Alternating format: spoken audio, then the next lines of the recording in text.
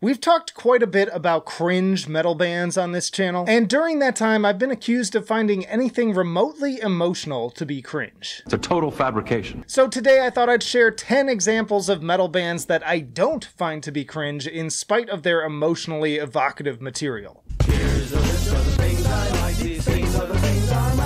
And of course, I realize this will be highly subjective, but we're kicking things off with Opeth.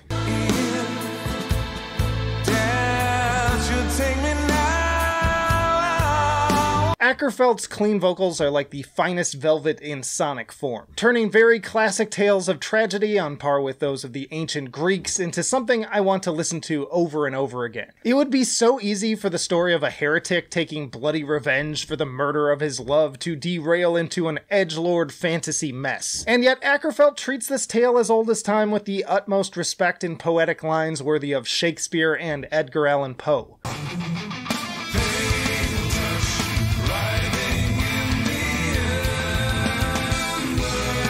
Conveying all the pain and anguish without feeling the need to overplay his hand. In many ways, I consider Mikael to be one of the last true bards of the old days, traveling town to town singing tales of calamity and misfortune in soothing baritone without an ounce of pretension. To hope on my one as it rises in the morning. Next up is Periphery. Now, I know a lot of people are going to really groan at this one, but Periphery is one of my favorite bands for sad boy scream alongs. I love their heavy shit too, but if we're talking about that super emo stuff, great examples include Heavy Heart, Alpha, All New Materials, Scarlet, Remain Indoors, and especially It's Only Smiles and Mile Zero.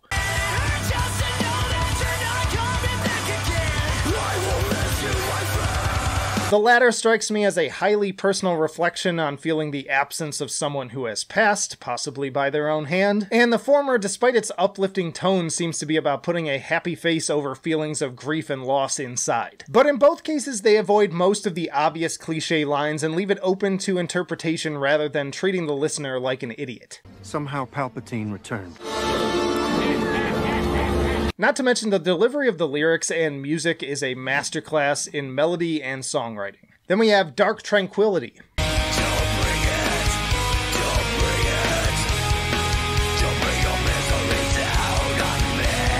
There are so many examples I could get into with this classic melodic death metal band, especially on Fiction, but when it comes to the song that most frequently comes to mind on this subject, I have just one word. Therein.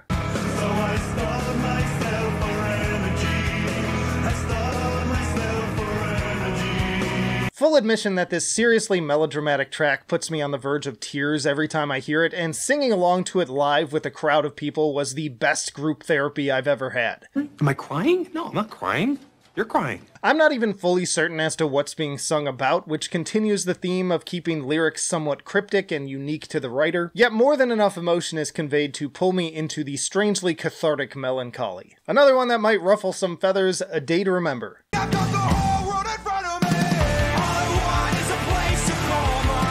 Memes about bands that write songs with the lyric, I hate this town aside, these guys are the epitome of smile while you sing along music. Tracks like Right Back at It Again are a masterclass in pop songwriting that is catchy and accessible with lyrics that are very relatable and slice of life.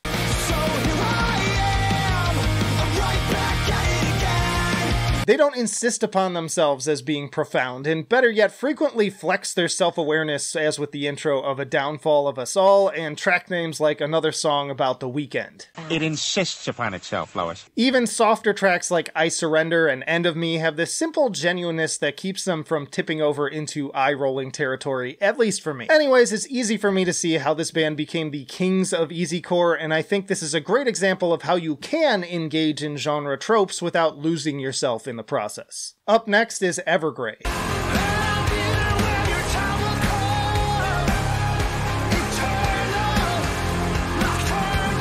This is a band I've more recently taken to, and despite jokingly referring to them as Michael Bolton metal, somehow I don't find myself cringing at moments that should be peak cornball dentist office music. Why don't you just uh, go by Mike instead of Michael? No way. Why should I change? He's the one who sucks. Hell, The Beholder has a duet with James LaBrie of Dream Theater that I know a lot of middle aged women would absolutely devour, but ends up being a very thoughtful reflection on coming to terms with aging. So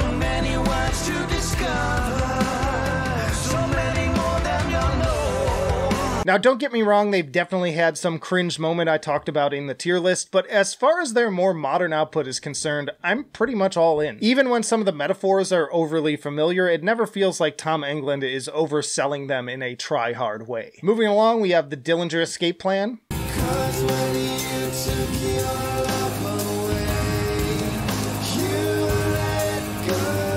This may seem like an odd pick, but the deeper you get into this discography, the more the atmospheric emotional tracks start to take hold amidst the mathy chaos. I think the first time I really started to take notice was the latter half of Farewell Mona Lisa, and then also closing out that same album with the moody, string infused Parasitic Twins. When Greg shifts into that soft croon, you know you're in store for a transformational catharsis. And this is perhaps the most true of the closing title track of their final album, Dissociation. Every time I listen to that, there's just this overwhelming sense of finality as I reflect back on over a decade of memories related to following this band. This at least thankfully continues in the form of Greg's solo work and most recently with the incredibly powerful Lowered with Reba Meyers of Code Orange.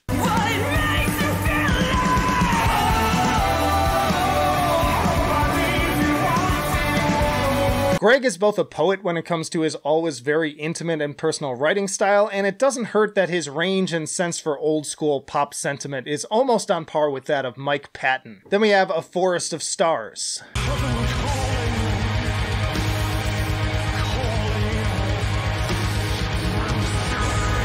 The shouted prose vocal style of this UK band is something you either love or hate, but personally I find it to be absolutely invigorating. I've described listening to their music as more akin to immersing yourself in a Broadway musical as opposed to any traditional black metal album. The lyrics are just so raw and evocative, washing over you in this cascade of sorrow.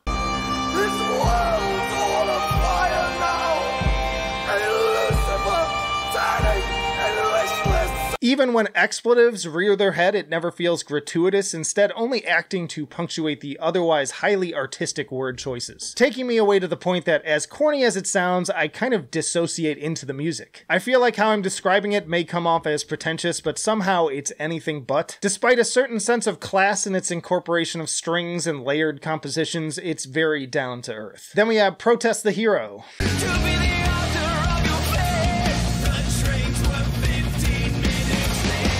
Another one of my top, top picks when I need something to pick me up, with basically every track off of Volition in particular fitting that criteria. Now, I won't deny that the messaging at times can border on preachy, but for the most part, it's Rody's more personal takes on lamenting a family cancer diagnosis on Tandem, or gushing about the band's trip to Newfoundland on Mist that really get me caught up in the moment.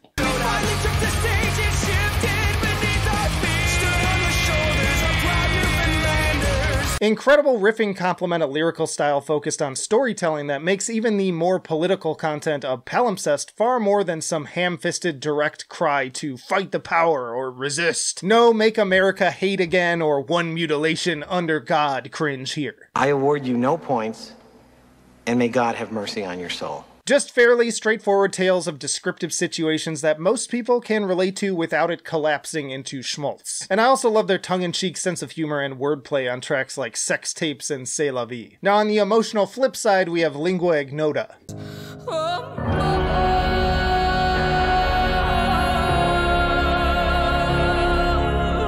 If you want to hear some real depressing music about the true pain and horrors of life, nobody does it quite like Lingua Ignota. While so many bands translate this approach into cringe lyrics that come off as, oh, poor me, nobody likes me, I'm such a loner, No one likes me. My dog won't even look at me. My dog took a shit on the floor because they were so disgusted with me. God, no one's ever gonna love me. Instead, Kristen Hayter says hold my beer and conjures all of her past and present trauma, spinning it into stunning artistic imagery and soul-rending performances.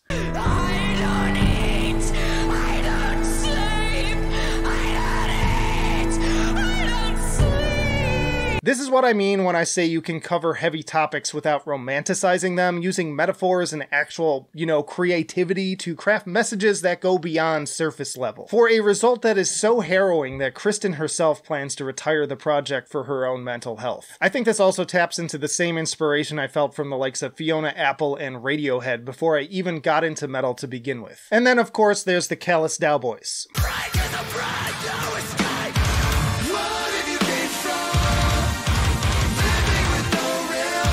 Carson Pace has become my modern go to when people ask what I look for in lyrics. Even more so than Protest the Hero, the Callous Daoboys tackle some seriously divisive political topics in their music. But in many cases, you'd never even know it unless you're really paying attention. They don't need to wave a flag in your face or speak in hashtags to engage in the discourse.